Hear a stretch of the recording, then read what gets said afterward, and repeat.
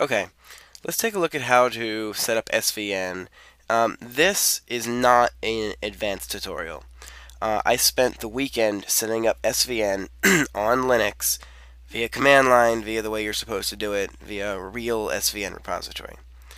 There's no way I can make a video about that in any possible amount of time frame that YouTube will allow. So, here's a free way to do SVN, kind of free. Here, here's a cheaper way to do SVN. You know what? It's not even cheaper. Whatever. Here's a way to do SVN for beginners. So here's a program on Mac called Versions. It's an SVN client. Okay?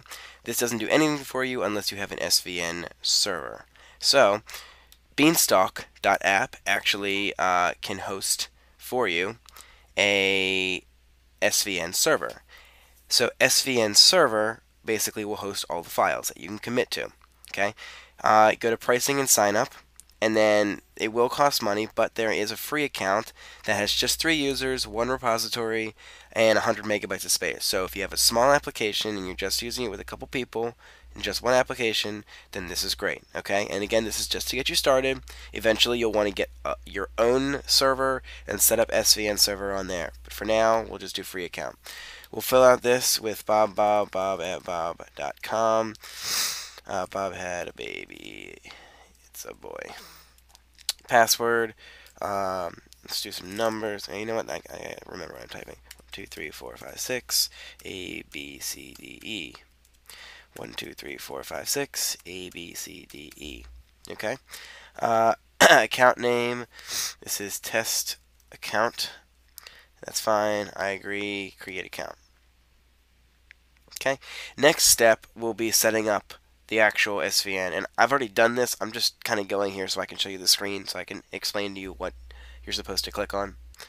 Um, okay, so once you're logged in, the first thing you do is create a new repository. So click that.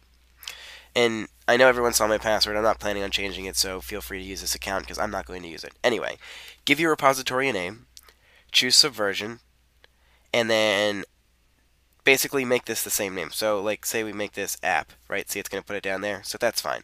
Repository name, choose subversion, choose your app, and then go to next step. Okay? Uh, you know what? I'll actually go ahead and do that.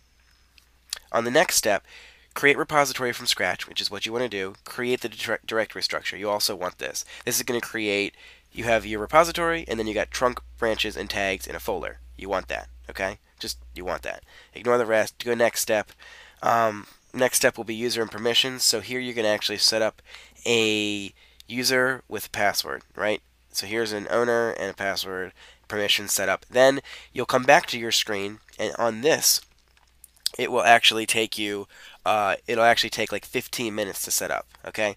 Once your so your URL is your name at Beanstalk, whatever your application. Okay. Whatever your SVN URL is. Okay. That's your SVN URL. And what you need to do is take that, pull up versions or your SVN copy. Okay. Now from here, this is a paid program. You don't need it, but I like it, and I might buy it. We'll see. I haven't used it very much. Anyway, so we don't want a repository because this is if you have a repository that is not online, right? So free online repository. So click that. It's going to bring you here. You were just here. So go back to the thing and pop this up. Okay. So name. so we're going to call this annex I'm going to paste in my uh, beanstalk and I type in my information and hit create. Now it's going to verify and create the repository. And that's that. So here's our repository. It's got branches, tags, and trunk, right? Okay, now what we need to do is in here, we need to right click on the trunk and do checkout. Now we need to choose our files. uh, my annex files are so Annex is the Firefox plugin I'm working on, so that's going to be in Applications. Uh, no, it's not. It's going to be in Macintosh HD, uh, Library, Application Support, Fire. Where are you, Firefox? Okay, so it's going to be Sean, Library, Application Support, Firefox, Profiles, profile ID, extensions. And actually, before I do that, I'm actually going to make a backup because there's a chance I'm going to screw this up. So let's go to extensions and let's just um, duplicate this. Okay, so now we've got a copy just in case. Okay, but that's that's the one we want. So let's go back to versions and we want that one, which is not the copy, right? And we'll just say checkout. Now, it's going to check out revision 1, which is going to put nothing in there. There's no files in there, right? There's nothing in here. Okay. Now, um,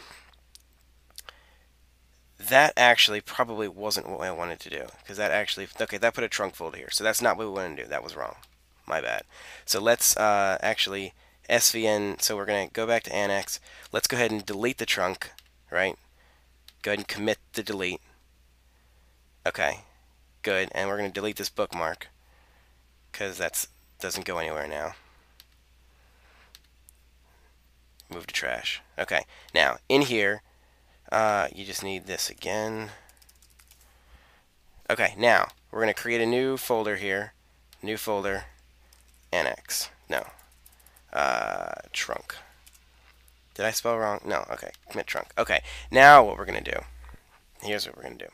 We are going to go here, go back.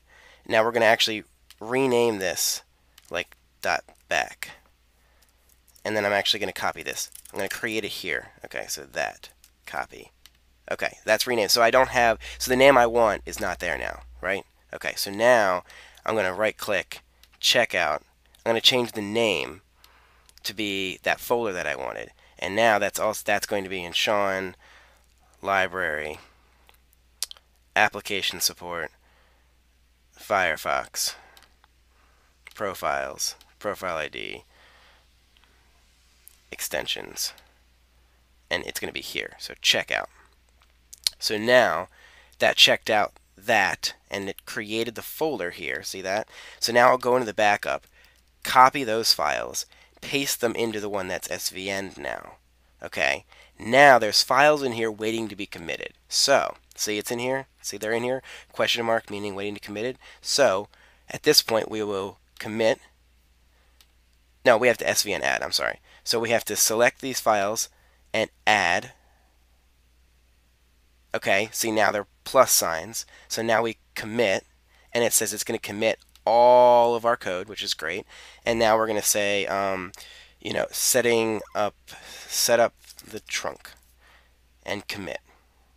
Now it's committing all of our files to that SVN repository. And as soon as it's done, we'll come back and we'll take a oh, well that was quick. Okay, not done. Okay, so now that's done. Okay, um, these should have updated. They didn't. Um, let me make sure that SVN update. Hmm, let's just make sure that that's working. Maybe just the icons are off. Refresh. Hmm, we'll see. Okay, so now let's go back to here, my account, and let's take a look at browsing the repository and in the trunk. So we've got our files, we've got our Chrome, so everything's here. So you ask yourself, what do you do with this now? So say we're on a different computer altogether, right? So let's go to our desktop and make a new folder and say test checkout.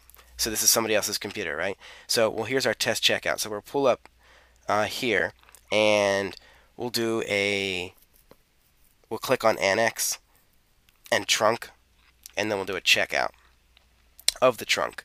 And we're going to do that to our desktop. Um, oh yeah, we don't have to give the name of the folder. Uh, it's going to do checkout to, what do we call it? Test checkout.